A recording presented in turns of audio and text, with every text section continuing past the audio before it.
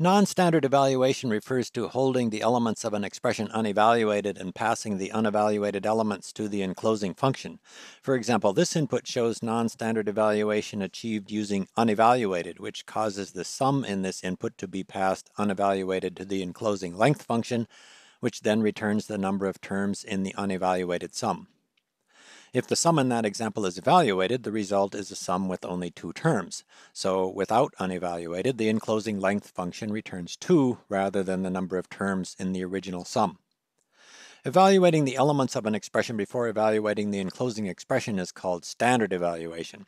Most of the time that's what is wanted, so that is the default, but there are also quite a few situations where standard evaluation is not used.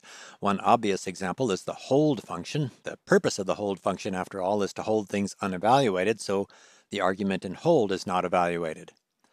That argument can be evaluated by enclosing it in evaluate, which forces evaluation of elements that would otherwise not be evaluated, or there is a function called release hold that just removes the hold. Another function that uses non-standard evaluation is the if function. For example, here are two inputs where the if function is used to print either prime or not prime, depending on whether or not a number is a prime number. In this example, the if function works by evaluating either the second argument or the third argument, but certainly not both, depending on whether or not the first argument is true or false. This can only work if the second and third arguments are held unevaluated until after the first argument can be tested. It is possible to cause the evaluation of those elements by enclosing them in evaluate, but that defeats the purpose of the if function, and in this example, enclosing those arguments in evaluate causes both prime and not prime to be printed regardless of the value of the first argument. There are several functions like this that hold elements unevaluated because the purpose of the function is to only evaluate those elements under certain conditions. For example, the logical AND function returns true only if all arguments evaluate to true and stops evaluating arguments as soon as it encounters an argument that evaluates to false. So in this example, the last argument is never evaluated since an argument that evaluates to false is encountered earlier in the sequence. If the arguments are evaluated, then evaluation of the last argument in this example causes the calculation to be aborted and the enclosing AND function is never evaluated. Holding of arguments in the AND function and in the if and hold functions is controlled by attributes, which are properties of symbols. The AND function and the hold function, for example, have the hold all attribute, which causes all of the elements in those functions to be held unevaluated. The if function has the hold rest attribute, which causes all elements other than the first element to be held unevaluated. Regardless of the reasons for holding elements unevaluated, the same reasons can also apply to new functions. For example, this assignment defines a function all positive that takes three arguments and that uses the AND function to return true if all of the arguments are positive and false if any argument is not positive. Unlike the AND function, however, the arguments in this new function are not held unevaluated, so evaluation does not stop as soon as a negative argument is encountered. For example, in this input, evaluation of the third argument aborts the evaluation before the rule for the new function can be applied.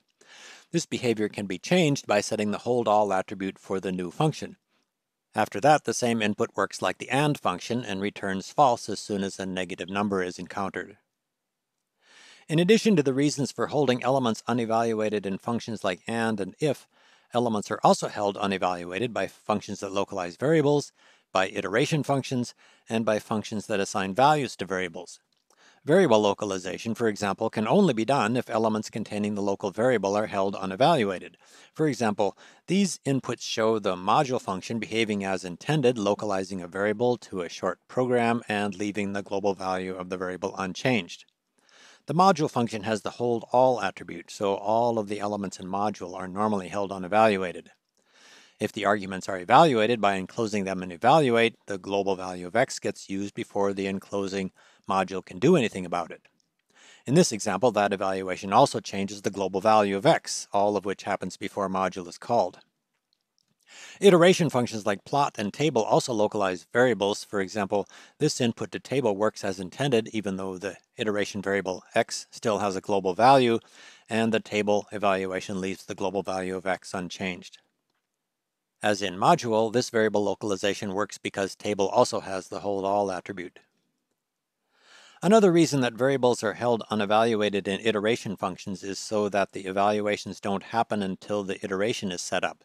For example, here is a table input that returns the first digit in 2 to the k for k from 1 through 5, but if the first argument in table is evaluated, then the result instead shows values of 2 to the k rather than just the first digit. The iteration variable k does not currently have a global value, so conflict with a global value is not an immediate issue here, but this input is typical of many examples where the iteration will work as intended only after values have been assigned to the iteration variable. If the first argument in table in this example is not held unevaluated, then integer digits is evaluated before values are assigned to k integer digits returns unchanged when the argument is not an integer, and applying first simply returns the argument of integer digits, which leads to the observed result. Elements are also held unevaluated in assignment functions like set. The x in x equal 1, for example, is held unevaluated. The input with the equal sign is just the, special notation for the set function, so x equal 1 is the same as set of x comma 1. The value of x can be changed by entering another assignment, x equal 5, for example, or set x comma 5 changes the value of x to 5. But this only works because set has the hold first attribute, which causes the first argument, which is the left side of the assignment, to be held unevaluated. If the left side of the assignment is evaluated, then currently x evaluates to 5, and this input tries to assign a value to the integer 5, which does not work. The set function has another attribute called sequence hold, which makes it easier to assign a sequence expression as the value of a variable. Sequence expressions are expressions that get spliced into an enclosing expression during evaluation. For example, this shows a sequence expression splicing elements into an enclosing list.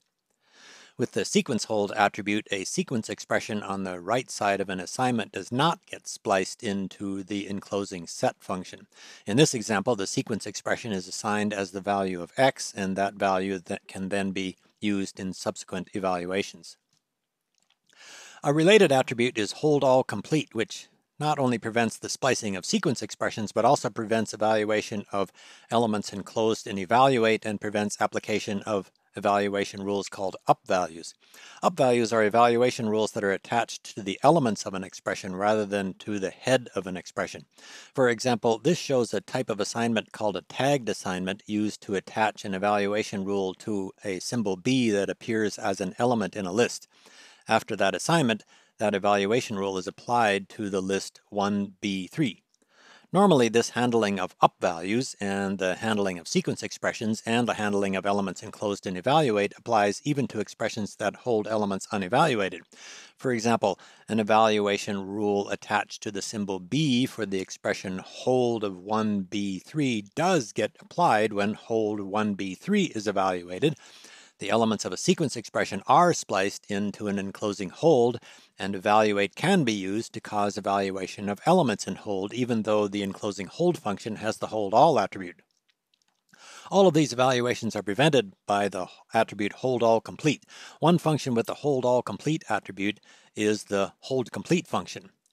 Repeating those inputs using hold complete rather than hold shows that the up value is not applied, the elements of the enclosing sequence expression are not spliced into the enclosing hold complete expression, and the element enclosed in evaluate is not evaluated. The hold all complete attribute is not often needed in practical applications. The most common use of this attribute in Wolfram language systems is in formatting of output. The make boxes function, for example, which is a low-level function used to construct the box expressions that are used for formatting output in Wolfram notebooks, has the hold all complete attribute. The hold all complete attribute of make boxes is part of the low-level system that makes it possible to, for example, construct box expressions to format a sequence expression as in this input without the sequence expression getting spliced into an enclosing expression.